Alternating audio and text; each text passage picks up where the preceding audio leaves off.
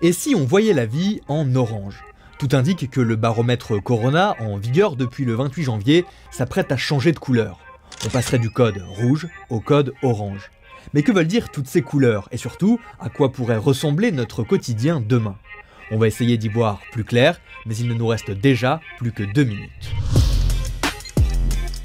Le baromètre Corona, c'est un outil de calcul qui reflète la pression sur les soins de santé.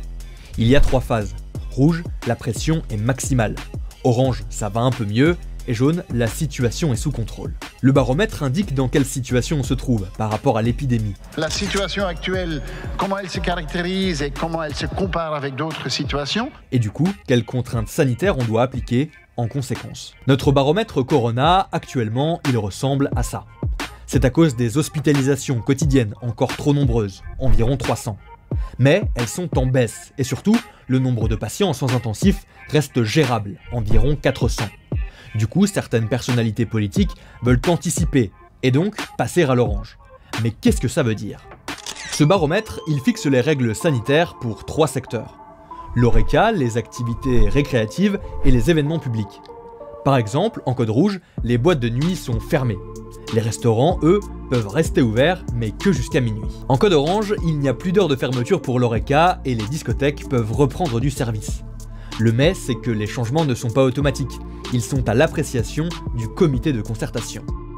Mais pour que tout aille vraiment mieux, on attend tous une couleur. Yellow. Avec le code jaune, quasiment plus de restrictions, plus d'heures de fermeture, plus de capacité limitée et un Covid Safety Ticket abandonné. Selon certains experts, on pourrait être en code jaune dès le mois de mars.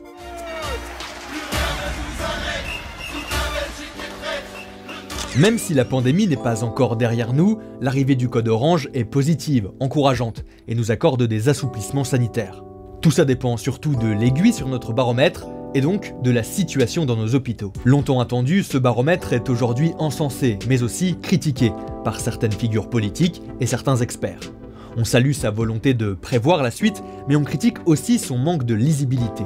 Alors vous, dites-nous en commentaire si ce baromètre vous aide à mieux appréhender la suite de la crise sanitaire, ou si au contraire vous n'y comprenez plus rien.